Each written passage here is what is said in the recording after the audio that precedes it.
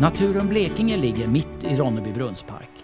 Länsstyrelsens besökscenter är beläget i huset Gymnastiken byggd 1891. Här hittar du utställningar och informationsmaterial som berättar om Blekinges natur, miljö och kulturlandskap. Naturen vill hjälpa och locka dig att upptäcka Blekinges natur. Jag en. En av utställningarna handlar om Blekinges skärgård och Östersjön. Här får du lära dig om fiskar och fåglar och varför Östersjön är ett så känsligt hav. Här får du också lämna tips och ta del av hur vi bör agera för att få ett friskare hav.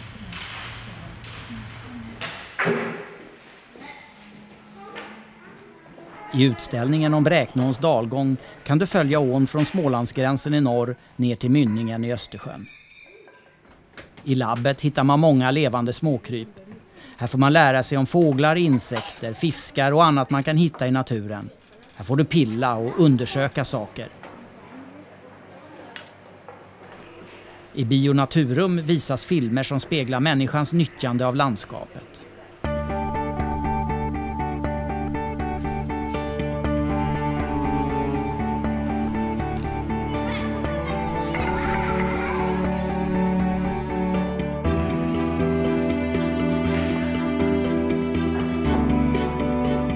Under sommaren ordnar Naturum guidningar i parken.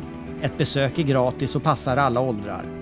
Naturen Blekinge är öppet varje dag från maj till och med september plus helger under vår och höst.